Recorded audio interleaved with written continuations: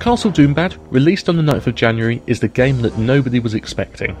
You play servant to Dr. Lord Evilstein, helping him defend his castle against an onslaught of heroes trying to break in and save the kidnapped princess. At its most primal, it's a tower defense game. Collect resources, build traps, then sit back and wait as the attacking force meets its grisly end. But Castle Doombad is so much more than that. For starters, it takes the genre of tower defense to its literal extreme. In a nice break from the norm, the field of battle is vertical, a feature that is fully exploited by the trapdoor, which can plummet unsuspecting heroes back down to a lower level. You start the game with some basic floor spikes and your captured princess who simply won't stop her incessant screaming. Luckily for you, those screams are collected and used to purchase more traps.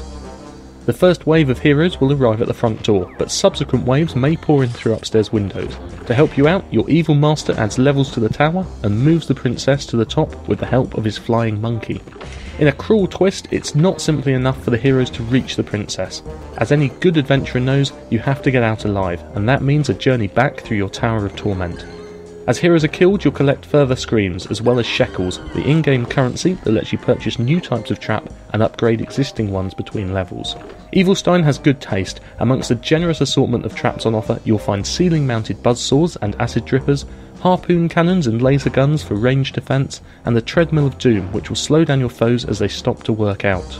Traps are designed to be mounted on either the floor, wall, or ceiling, potentially allowing up to three to be combined to deadly effect. This allows for some devious tactics. On its own, the treadmill will only slow a hero's progress, but mount a buzzsaw above it and wait for the screams. As you progress through the levels, you'll also face tougher heroes, including some with special abilities like the ninja, which can crawl along the ceiling to bypass your floor mounted traps. In its concept, Castle Doombad will bring back memories of PC classic Dungeon Keeper and the more recent Evil Genius. It's a rare and guilty pleasure to play the evil villain. The game currently features three chapters of 15 levels each, and an unlockable endless mode for further challenge. As a premium rather than free to play title, it's well priced at £1.99 or $2.99 US. There are in app purchase options allowing you to upgrade your traps faster, but the game is well balanced and you won't need these to succeed.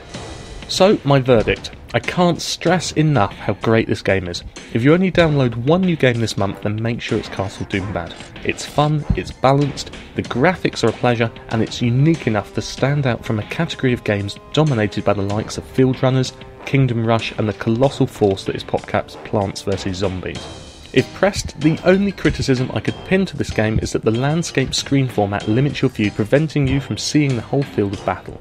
It's a trivial point to pick up on though, in an otherwise superb title. It deserves every one of the 5 stars that I'm giving it. Castle Doombad was released in the App Store on the 9th of January. If you haven't already, go and get it, you won't be disappointed. If you are playing it, leave a comment and let me know what you think.